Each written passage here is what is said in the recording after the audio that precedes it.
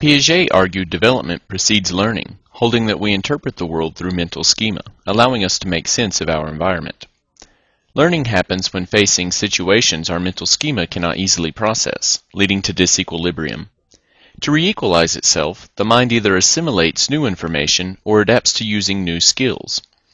Piaget calls this process of assimilating new information and skills into our pre-developed schema learning.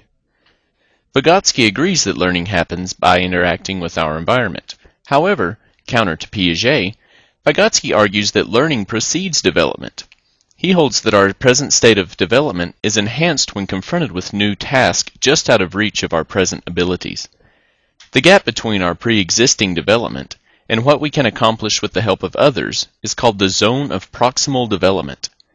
Vygotsky focuses on how proper instruction raises our ability through the ZPD as we internalize new information and skills. Learning takes place in the ZPD and precedes individual development. Piaget's theory deals more with states of development and mental schema, in line with Kant. Vygotsky's dialectical theory focuses mainly upon how instruction and society at large impacts learning, in line with Marx and Hegel. I find Vygotsky's theory more valuable as an educator because it focuses on the role teachers and society play in student learning and development.